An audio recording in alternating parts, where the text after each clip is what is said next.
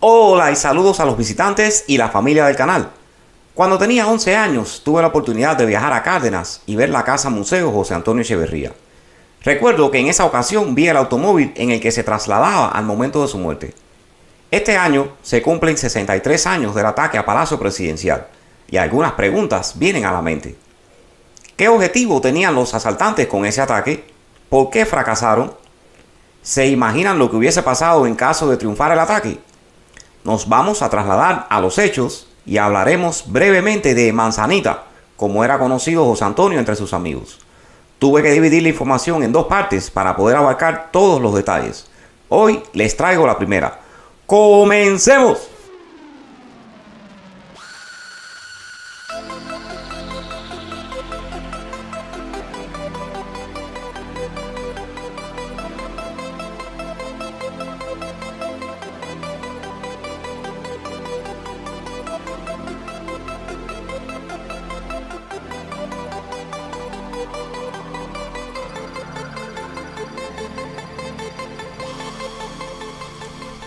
Con la llegada al poder de Batista en 1952, el sector estudiantil había demostrado su descontento con el golpe, siendo la Universidad de La Habana el origen de la rebelión. Un joven de la Facultad de Arquitectura se había ganado el prestigio entre los estudiantes por sus habilidades de liderazgo y su personalidad carismática. Lo llamaban cariñosamente Manzanita. Su nombre era José Antonio Echeverría. Fundó el Directorio Revolucionario, movimiento encaminado a luchar contra la dictadura de Batista y restaurar el orden en la nación. José Antonio organizó una acción que seguía la estrategia de golpear arriba.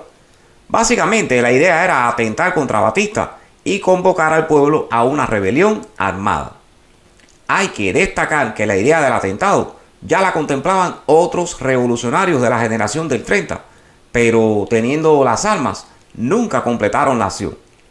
Ese viejo anhelo finalmente se llevó a cabo, aunque no se logró el resultado esperado. Este era el objetivo. El grupo se dedicó a estudiar el comportamiento de Batista, en qué horario se dirigía a Palacio, las calles por las que transitaba, la escolta que llevaba. Para lograr esa vigilancia se instaló un sistema de chequeo que seguía a Batista desde que salía del cuartel de Columbia hasta Palacio. La primera posta estaba en 42 y 31. La segunda en Malecón y Línea. La tercera casi llegando a Prado, en una casa con teléfono que recibía las noticias de su paso por 42 y diariamente cronometraba el tiempo invertido en el recorrido.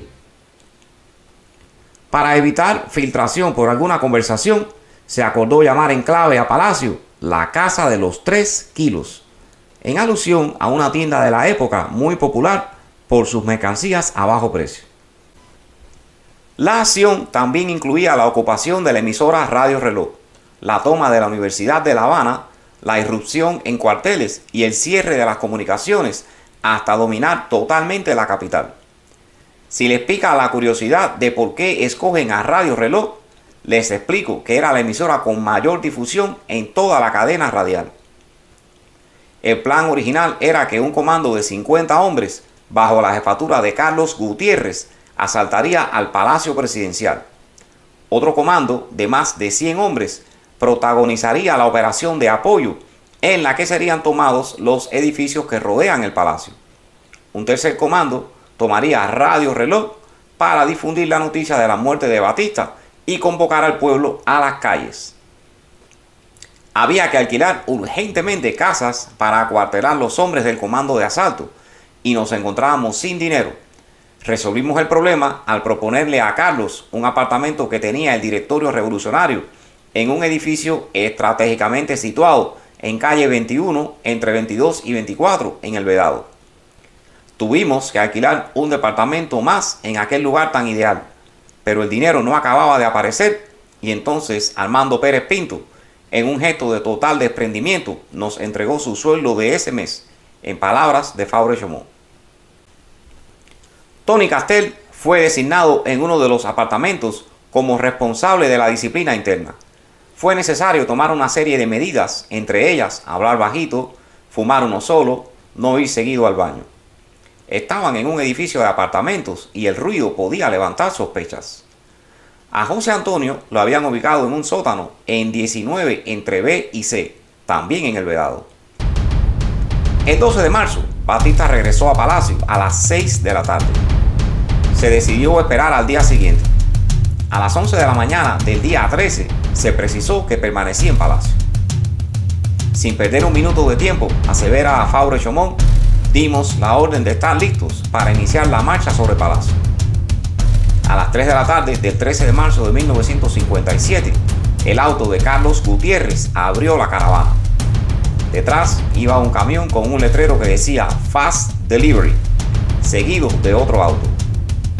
De la calle 17, en la zona residencial del Vedado, doblaron por O, Vapor, Espada, San Miguel, Campanario, Dragones. El camión iba casi ponchado. Antes de salir, al ver la goma izquierda trasera baja de aire, uno de los jefes le preguntó a Armado Silveriño, ¿qué tú crees? Yo llego, replicó el chofer. Si los muchachos se me arriman para el otro lado, yo lo llevo. En el interior del camión iban apretados los hombres, unos contra otros, en una oscuridad total y un asfixiante calor. Todos en mangas de camisa, menos Evelio Prieto. Yo no me quito mi gabardina, había dicho antes de iniciar el viaje. Pegados a la puerta, Machadito y Juan Pedro Calvó intercalaban chistes.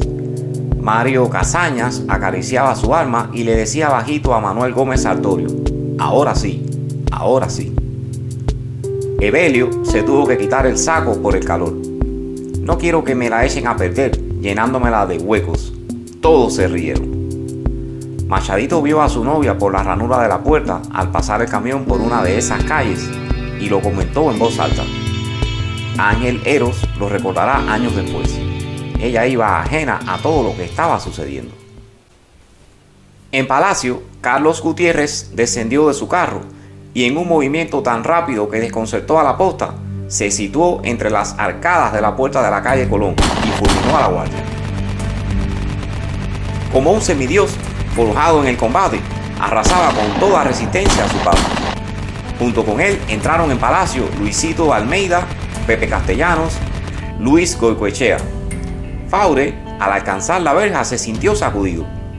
Como si fuera de papel, pierdo mi estado consciente mientras tengo la impresión de que soy lanzado al aire por la mano de un gigante y con la sensación de que me voy en un sueño. Solo pienso, me han matado. Logramos entrar a la planta baja, expresó Ángel Eros en un testimonio. El grupo de Alfonso Zúñiga cogió a la derecha, nosotros a la izquierda. La segunda planta estaba abierta, afirma Alberto Valdés. Nos colocamos detrás de una de las columnas y nos hicimos fuertes allí. Ya empiezan a tirar desde la azotea y los pisos superiores. Yo también respondo. Tony Castel y otros tres compañeros tenían que garantizar la zona del parqueo. La escolta de Batista se refugió en la iglesia del Ángel que nos quedaba casi enfrente. Empezamos a combatir contra ellos porque nos tiraban desde las ventanas del templo. A las 3 y 21 de la tarde del 13 de marzo de 1957, llegó José Antonio a la cabina de Radio Reloj y entregó a los locutores varios despachos donde se informaba del ataque al Palacio Presidencial y de un supuesto parte emitido por oficiales y clases que habrían tomado el mando del ejército, luego de destituir a altos jefes y oficiales del tirano Batista. Al final de este boletín, uno de los locutores anunció que el líder de la Federación Estudiantil Universitaria, daría a conocer una locución al pueblo de Cuba. Inmediatamente José Antonio inició una apasionada arenga donde anunció la caída del tirano, algo que debió haber ocurrido según los planes. Pueblo de Cuba, en estos momentos acaba de ser ajusticiado revolucionariamente el dictador Fulgencio Batista. En su propia madriguera del Palacio Presidencial, el pueblo de Cuba ha ido a ajustarle cuentas. Y somos nosotros el directorio revolucionario, los que en nombre de la revolución cubana hemos dado el tiro de gracia a este régimen de oprobio. Cubanos que me escuchan, acaba de ser eliminado. La locución quedó cortada cuando el líder estudiantil repetía sus palabras. En el momento en que un empleado encargado de las transmisiones en otro lugar sacó del aire la emisora. Cuando el dirigente estudiantil le informaron que estaba fuera del aire, en su retirada, realizó unos disparos sobre el máster de la cena. Ante la certeza de que la transmisión se había ido del aire, Fructuoso, Westbrook y Pedro Martínez Brito bajan por el elevador. Y por las escaleras, casi corriendo, José Antonio y el Moro. Cuando José Antonio sale, se forma un tremendo tiroteo. Entonces viene la arrancada de los carros y el incidente con el policía. El chino Figueredo hace un disparo y lo viere en un muslo. El policía se queda como pidiendo perdón allí. No lo rematamos. Enriquito Rodríguez Loeches le quitó el arma, la documentación y arrancamos. En Palacio, hasta el Salón de los Espejos, llegaron Carlos Gutiérrez Castellanos, Pepe Wangemer y Goico Echea. Llegamos hasta la puerta del despacho cuando escuchamos voces excitadas dentro. Gutiérrez gritó, ¡Salgan con las manos arriba! La respuesta fue un tiro que hizo estallar en añicos los cristales de la puerta. Carlos lanzó por el hueco de los cristales rotos cuatro granadas. Las tres primeras no estallaron. A la cuarta se sintió una explosión. Instantáneamente franqueamos la puerta disparando nuestras armas. En el suelo había dos hombres muertos. El despacho estaba vacío. Tratamos de hallar un pasadizo secreto que, según nos habían informado, unía el despacho de Batista con sus habitaciones del tercer piso. Imposible lograrlo. Estas fueron las palabras de Luis Goicoechea. Salimos del despacho y nos dirigimos hacia una escalera de caracol para tratar de llegar al tercer piso. Inútil. Desde la azotea y el piso de arriba nos disparaban despiadadamente. Estábamos ya cortos de municiones. La ametralladora de Carlos se había encasquillado. Castellanos tenía los cargadores vacíos. El grupo de apoyo no había aparecido por parte alguna. Manuel Gómez Sartorio, por su parte, recuerda: Avancé hasta el fondo, tirando, siempre tirando. El tiroteo es grande. Cambio el peine y sigo tirando. En eso veo que hieren a Mario Casañas. Lo veo desfallecido y lo halo hacia mí. Siento un calor por mi cuerpo, pero no me percato que es la sangre de Mario. A la salida de Radio Reloj, el auto en que iba José Antonio no tomó la ruta prevista. En vez de seguir por M hasta San Lázaro, dobló en Jovellar. En la calle L es detenido por un tranque de ómnibus. Cuando al fin atravesaron la entonces doble vía, se toparon con un carro patrullero. Al chocar, aseguraba el moro, testigo presencial de los hechos, ellos dan marcha atrás y abren las puertas.